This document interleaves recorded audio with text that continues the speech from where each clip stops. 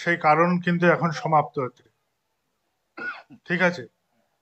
আমরা সবাই জানি, দ্বিতীয় প্র- প্রবাহ যখন এসেছিল করোনার, সেই সময় আমাদের অগণিত গুরু ভাই আক্রান্ত হয়।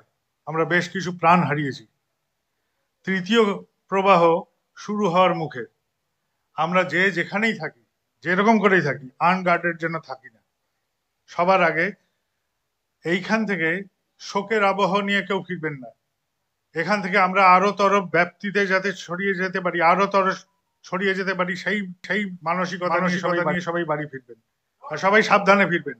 আর একটা কথা শোকের আকর্ষণ কিন্তু নাই শোকে বিকর্ষণ হয়। এখান থেকে কেউ শোক নিয়ে যেতে আসেনি আমরা পুরুষোত্তম ধামে আছি। যার যেটা হারিয়েছে তার তার মতন হারিয়েছে। কিন্তু আমাদের চলা কিন্তু পুরুষোত্তমকে নিয়ে।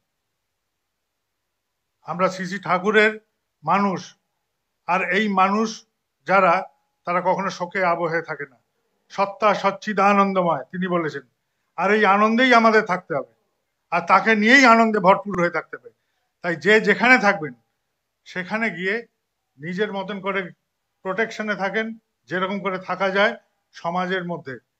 সবাইকে সচকিত করবেন, কেননা তৃতীয় হয়তো বেকায়দা নাও ফেলতে পারে, কিন্তু তাও সাবধানে থাকা দরকার।